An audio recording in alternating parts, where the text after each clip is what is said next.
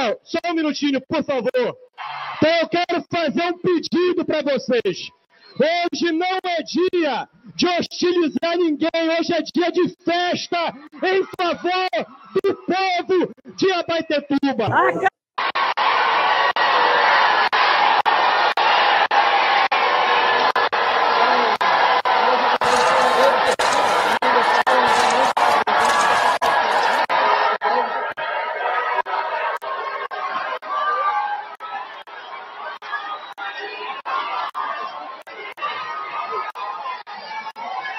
Quero aqui cumprimentar o nosso presidente Luiz Inácio Lula da Silva. Agora deu caralho mesmo, viu?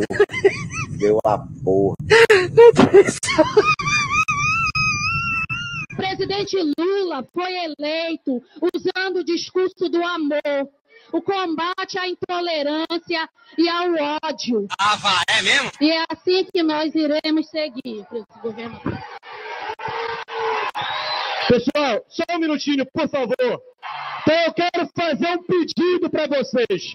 Hoje não é dia de hostilizar ninguém, hoje é dia de festa em favor do povo de Abaitetuba. Acaba, pelo amor de Deus! Acaba, pelo amor de Deus! Acaba!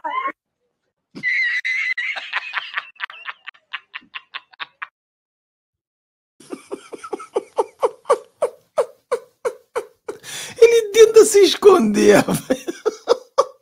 Tá, aí, tá ele tentando se esconder, tá a Jande de óculos escuros pra ninguém ver.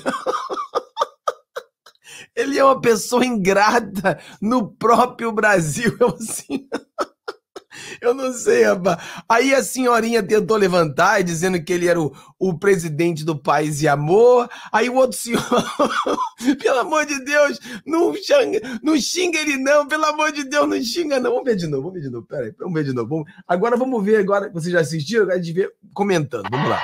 Ó, ó, isso são vaias, pessoal, são vaias, hein. Ó, ó, ó, ó, escondido, escondido. De chapeuzinho. Ah, esconde, Lula, se esconde, vagabundo.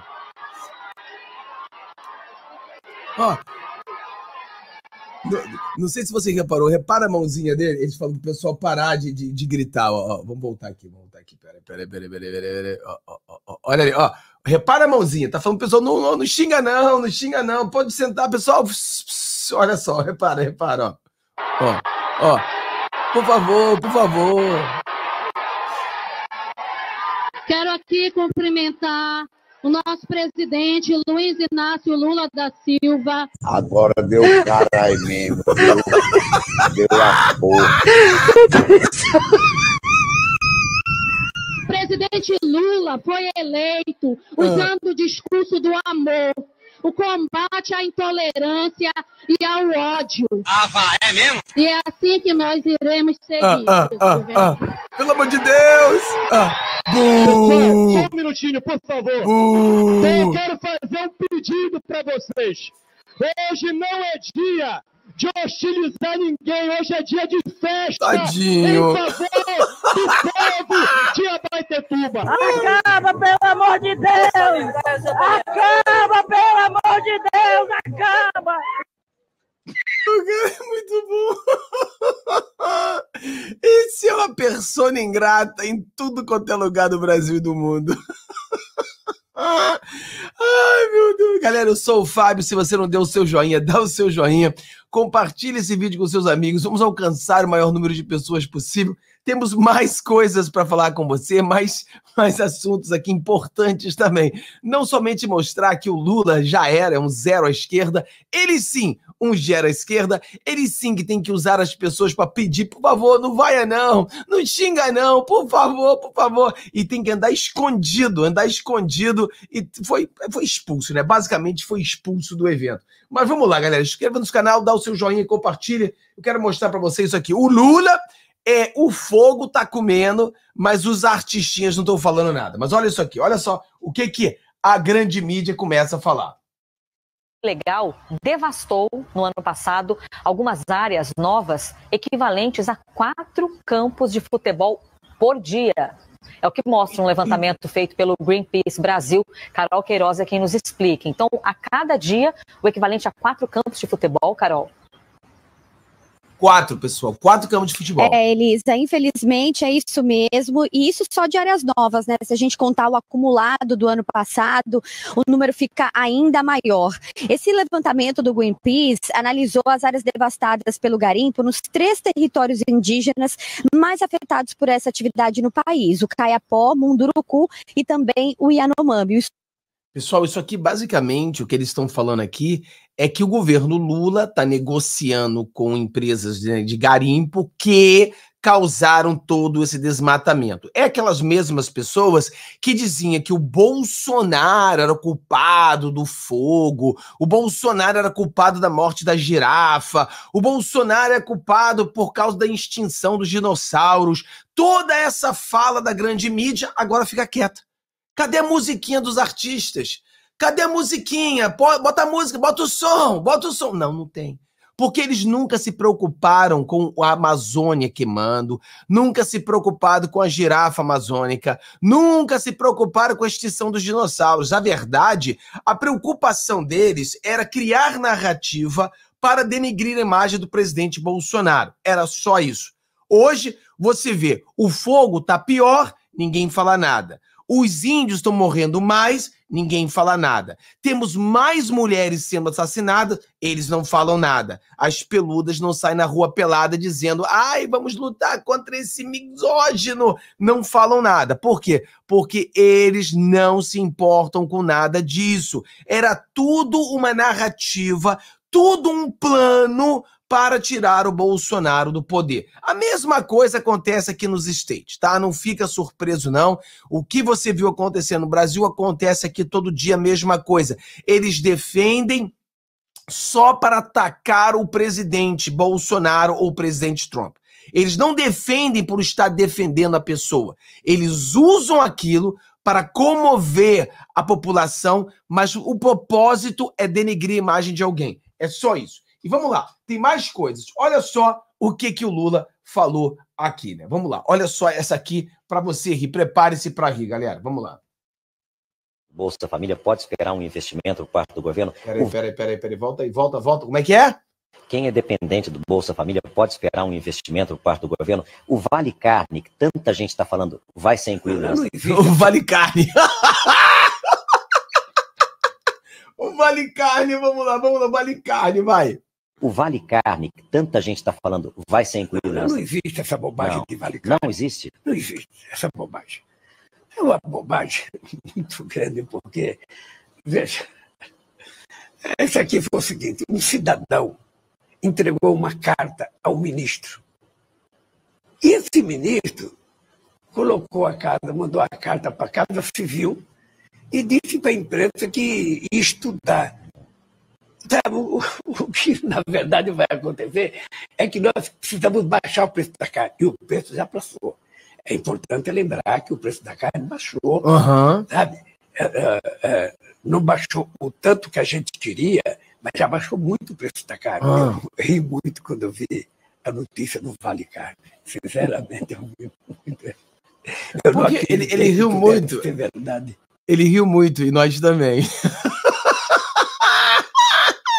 Carne. Porque os 35 reais que estava prometendo, prometendo, não ia conseguir comprar nem osso, muito menos. Isso não era vale carne, era vale osso. Vale osso. Porque o pobre agora no governo Lula come osso. Prometeu picanha, já deu abóbora e agora chegou na hora de comer osso. Estão comendo. Vai no comentário para mim e diz para mim: a carne abaixou? A carne está barato? Vai no comentário, diz pra gente aí, porque de acordo com o mentiroso Mó, a carne abaixou. Vai no comentário, diz pra mim se a carne abaixou ou se o Lula está contando mais uma mentira como sempre contou, né? É um mentiroso maior. E aquela coisa, ah, é uma palhaçada. Claro que é uma palhaçada. Tem que sim, não é diminuir o preço da carne. É simplesmente aumentar as oportunidades para que o povo tenha melhor trabalho. Mas o que o Lula faz? Ele é o contrário. A- a- em vez de tirar a burocracia, ele coloca mais burocracia. De vez de diminuir o controle, ele coloca mais controle. E esses mais controles, mais burocracia, mais impostos, faz com que as carnes fiquem mais, mais caras, as pessoas fazem menos dinheiro, a economia começa a fundar cada vez mais, e é isso que acontece.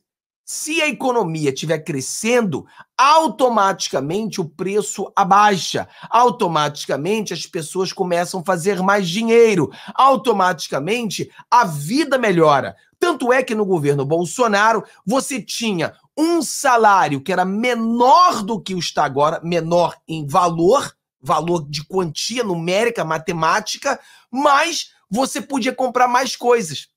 O salário mínimo é 900 e pouco, no primeiro ano do Bolsonaro. O salário mínimo agora é 1.300, mas com 900 e pouco no primeiro ano do Bolsonaro, você comprava muito mais coisas do que você compra agora com 1.300. Então é tudo uma, uma, uma, uma, mentira. É tudo uma mentira. Você está fazendo mais dinheiro, não, está fazendo menos.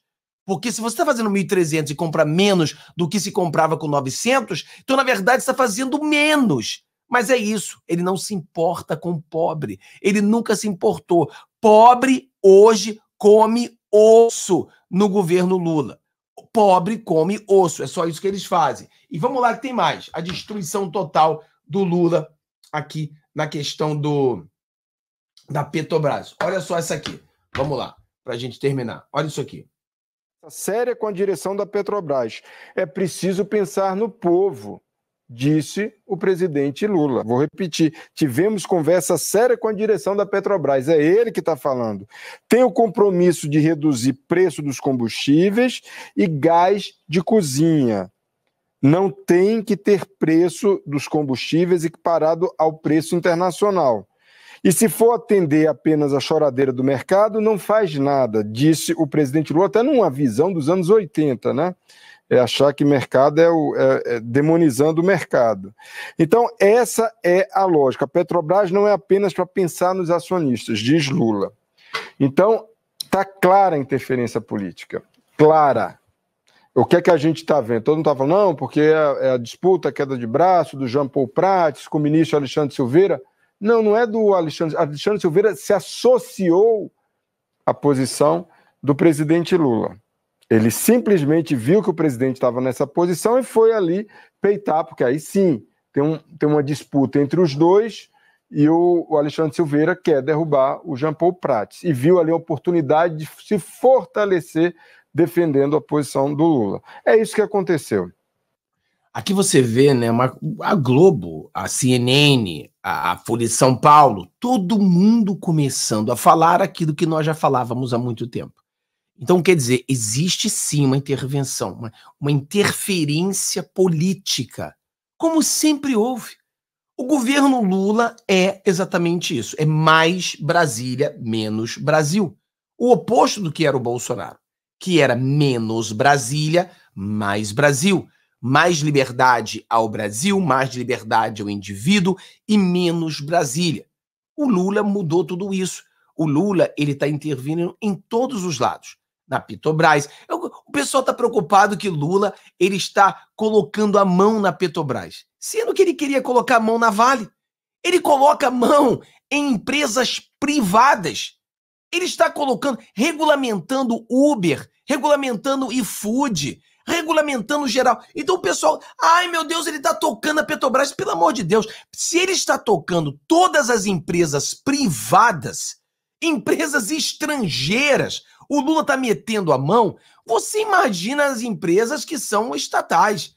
Então é um absurdo acreditar que a Petrobras ficaria de uma forma independente, sendo que o Lula sempre usou a Petrobras para os seus. Sabe como é que é, né? sempre usou sua, sua caixa 2. Sempre foi. Então não é agora que o Lula não vai tocar a Petrobras, não é agora que o Lula vai continuar. Lula é Brasília grande. Lula é o grosso entrando no povo brasileiro. E muitos despertaram, muitos ainda não, infelizmente. Mas vão despertar, porque às vezes as coisas têm que piorar para que possa melhorar. Deus abençoe todos vocês. Tenham um dia maravilhoso, galera. Hoje às 15 horas estaremos no nosso outro canal fazendo uma live. Eu vou colocar o link aqui embaixo. Entra já bota ali para te notificar às 15 horas. Também vai ser muito importante é sobre essa questão do Xandão, do Cid e companhia. Deus abençoe a todos. Te vejo às 15 horas. Um abraço.